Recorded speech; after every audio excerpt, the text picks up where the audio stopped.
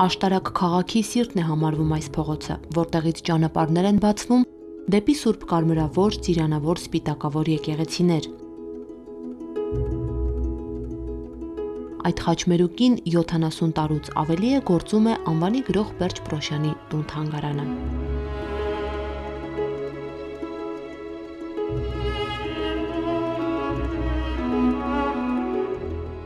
Հողաշեն այս փոքրիկ հյուղակը գրողի հայրական տունն է 1837 թվականի հունիսի 15-ին հենց այստեղ է ծնվել ու մանկությունն անցկացրել Պերճ Պրոշյանը։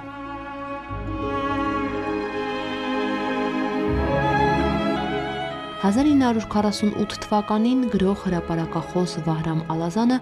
որոշել է այստեղ թանգարան հիմնել եւ սկսել է հավաքչական աշխատանքները։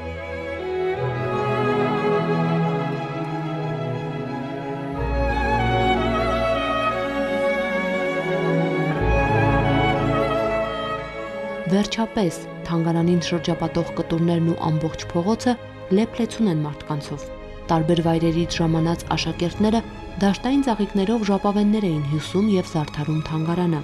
Հյուրեր կային Մոսկվայից, Բաքվից ու Թիֆլիսից, որոնց թվում էին հին աշտարակցի 90-ամյա նշանավոր գիտնական Երվանդ Շահազիզը, Ստեփան Զորյանը, Հրաչյա Հովանիսյանը, Գևորգ Էմինը։ Կարդում ենք Ալազանի հուշերում։ 1948 թվականի մայիսի 16-ին հանդիսավորապես բացվում է Պերճ Պրոշյանի տուն թանգարանը։ Այդ ժամանակ թանգարանի միակ շենքն այս հացատունն էր միայն։ Մյուս հարկաբաժինները կառուցվել են տարիների ընթացքում, իսկ թանգարանի ներկայիս շենքը 1990 թվականի կառույց է։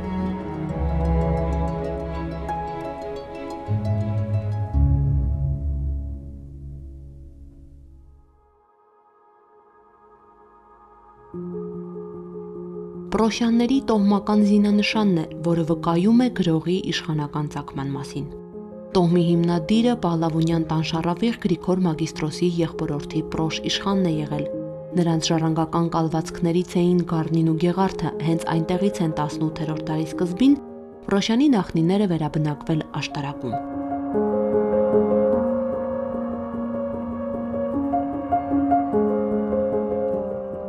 Մարտիրոսյանի հոր ցանկությունն է եղել, որ เป զի ворթին լավ կրթություն ստանա։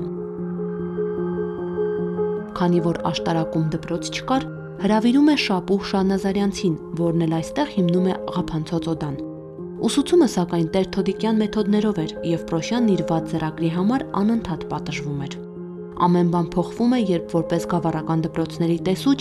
աշտարակի գալիս Խաչատուր Աբովյանը, Նրա ազդեցությունն այնքան մեծ էր պատանու վրա, որ դա կանխորոշում է նրա ապագան։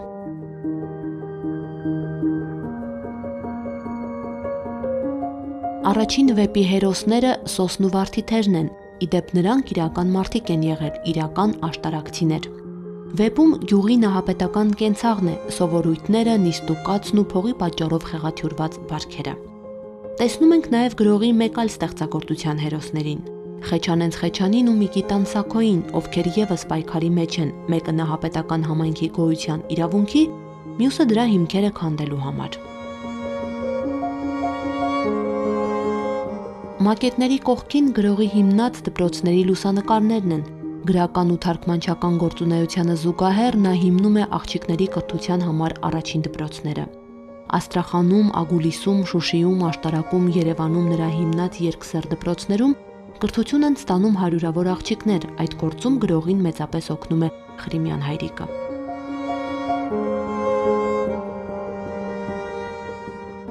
Ահա եւ Պերջախումբը Ներսիսյան դպրոցի եւ Թիֆլիսի քաղաքային գիմնազիայի բարձր դասարանների աշակերտներից բաղկացած թատերական այն խումբը, որը ձևավորել է Պերճ Պրոշյանը։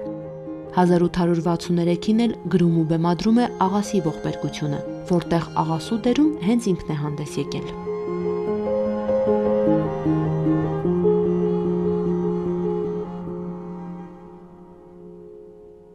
Սա Ռաֆու հիմնականում դասագրքերից հայտնի լուսանկարն է։ Քչերը գիտեն, որ հեղինակը Բերջ Պրոշյանն է։ Լուսանկարիչ Պրոշյանին բացահայտում ենք հաջորդ սրահում։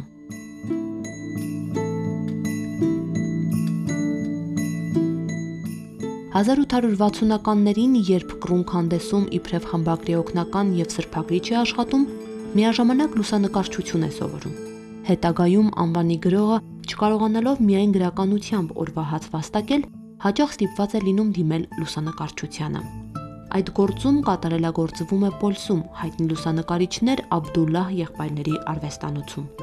Հետագայում լուսանկարչատներ է բացում Կախեթում, Շուշիում, Երևանում, Նախիջևանում, Օրդուբաթում, Նորբայազետում, Աշտարակում, Թիֆլիսում, Աստրախանում։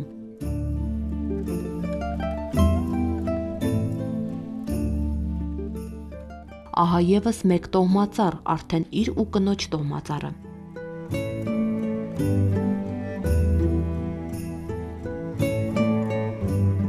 Պրոշյանն ամուսնանում է Աննա Դոլգյանի հետ, որը Սայատնովայի ծորնուհին էր։ 6 զավակ են ունենում՝ 3 տղա եւ 3 աղջիկ։ Սերունդների միջոցով են փոխանցվել այս բոլոր իրերը՝ արծաթյա սպասքը, փայտե պահարանները, հայկական վիշապագորգը, Բաշինջաղյանի Մասիսներ կտավը, անձնական մյուս իրերը։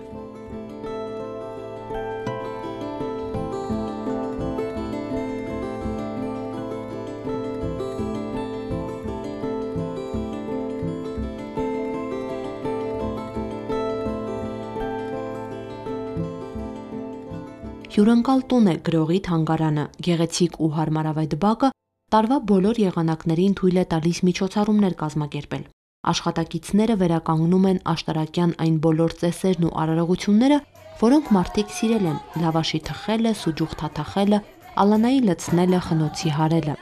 Հյուրընկալ այս հարկը կենթանացնում են նաև կրթական, գրական ու ժամանցային ծրագրերը։ 18-ից 60 տարեկան կանանց համար անվճար ձեռագործության դասընթացներ են կազմակերպվում, մանուկների համար ամառային ճամբարներ, երիտասարդ ընթերցասերների համար գրական երեկոներ։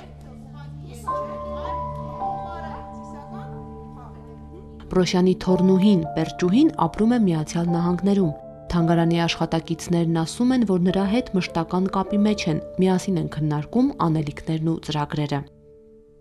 Պրոշյանն իր տունը հենց այսպիսին կցանկանար տեսնել՝ լեցուն մարդկանցով ջերմ ու հյուրընկալ։ Այցելեք թանգարաններ, հաղորդակցվեք անցյալի արժեքներին։